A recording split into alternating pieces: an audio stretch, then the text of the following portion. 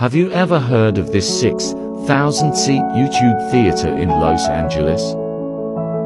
HKS designed the theater, which opened in 2021, to fit underneath the massive ethylene tetrafluoroethylene canopy at SoFi Stadium.